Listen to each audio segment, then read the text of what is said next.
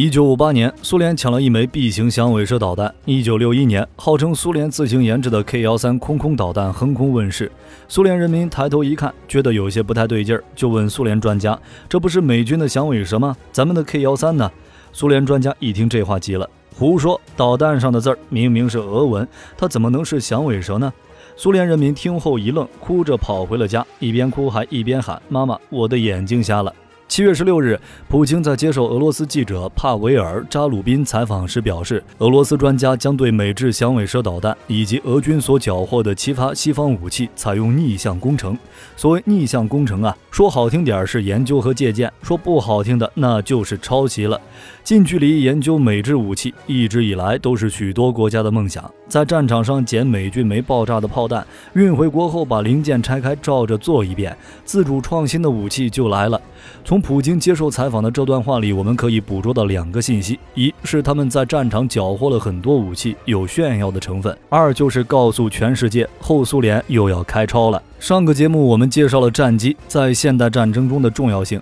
本期我们来重点介绍一下美空军战机的獠牙——响尾蛇空空导弹。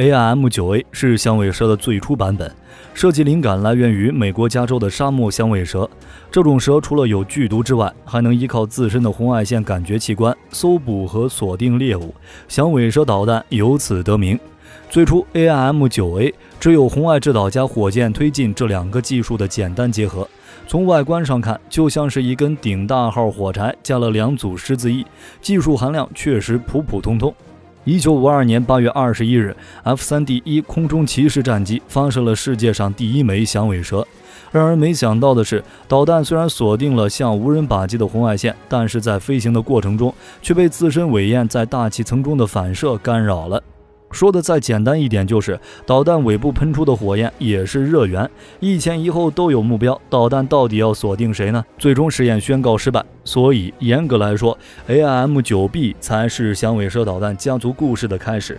AIM-9B 导弹延续了 AIM-9A 的引导头和推进系统，不同的是，该弹在引导头的红外透镜边缘加了一层包边，目的是为了防止导弹被尾部的红外线所干扰，类似于狗脖子上的伊丽莎白圈，想回头门儿都没有。另外，空气动力学的特性调整也使 AIM-9B 看起来更加成熟。很多人认为导弹应该是相当智能化的武器，可是实际上呢，AIM-9B 并没有什么 CPU 等高科技设备，完全就是一款纯电子电路驱动的炮弹。最核心的部分就是那块红外透镜而已。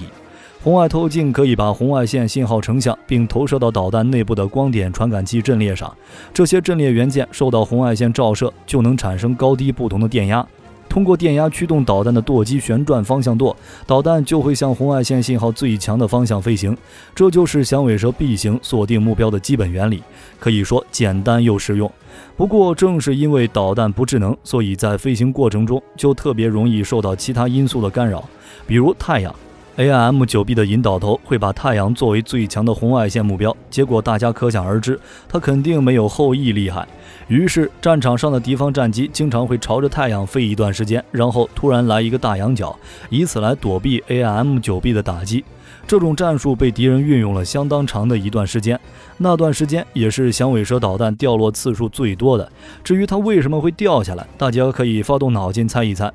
当然了，这样的问题美军肯定不会置之不理。AIM-9C 型号的诞生解决了导弹不知道攻击哪个目标的问题。这一型号的响尾蛇可以由飞行员帮助导弹做出决定。不过，这个看似很合理的想法呢，实际上是让响尾蛇家族走了一个大弯路。AIM-9C 是一枚尖头且没有红外引导头的响尾蛇导弹。该弹大部分采用 AIM-9B 的部件，依靠载机提供的雷达波为引导，可以理解为预波飞行。这一设计呢，虽然阻止了导弹无端飞向太阳，但是也使响尾蛇又回到了当时麻雀导弹的老路上。载机、导弹、目标必须时刻保持三点一线，导弹才有可能击中目标。在麻雀导弹那期节目中，我们曾经说过，仅仅保持住三点一线，对于飞行员来说已经很不容易了。这个时候再帮助导弹锁定敌机，就会让飞行员和战机随时处于被动局面。就因为这个，AIM-9C 的研发最终惨淡收场。好在整个研发过程也有意外的收获。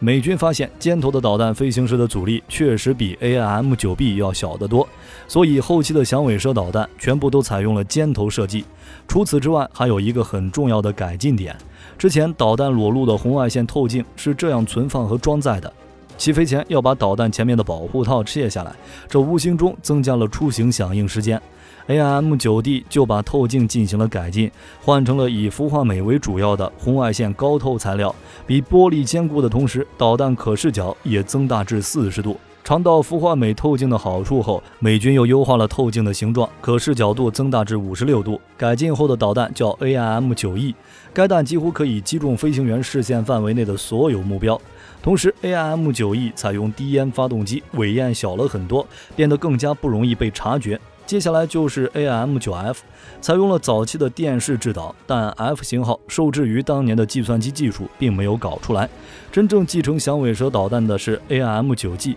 AM9G 的引导头被放在一个移动的支架上，该支架可以做出小角度偏转，这样一来，导弹就拥有了更大的搜索视角。在飞行的前段时间，导弹依靠飞机雷达进行引导，在接近目标时，利用红外线传感器捕捉目标。从 G 型开始，响尾蛇导弹真正具备了超视距攻击能力。很快，G 型响尾蛇再次被替代，主要原因是 G 型响尾蛇导弹包括之前型号的电子电路元件都是大量的玻璃电子管组成，也就是这玩意儿，真空玻璃电子管非常脆弱，很容易引发导弹故障。所以在剂型基础上，由晶体管替换玻璃管的 H 型由此诞生。从1952年响尾蛇导弹首次打靶到1966年推出 H 型号，十四年间，响尾蛇导弹的内部都是电子管，这谁能想到呀？从这点来看，苏联米格25都是电子管的事儿，好像也不是那么搞笑了。大家都一样嘛。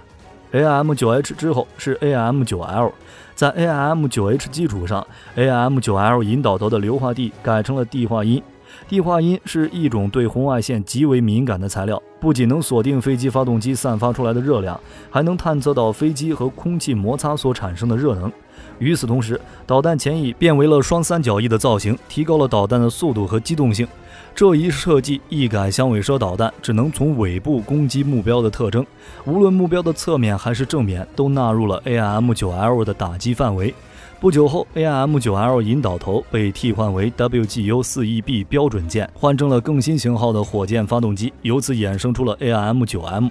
AIM-9M 一共生产了两万六千多枚，是目前美军最多的响尾蛇导弹，单价也由原来的七千美金上升为一万三千二百美金。M 型之后有是 R 型，R 型响尾蛇修改了 M 型的导引头，以一个二百五十六乘二百五十六像素的 CCD 阵列取代了之前的模拟信号探测器，安装了弹内计算机系统。R 型响尾蛇通过图像能识别出目标是一架飞机还是太阳，战斗机躲避导弹的可能性几乎为零。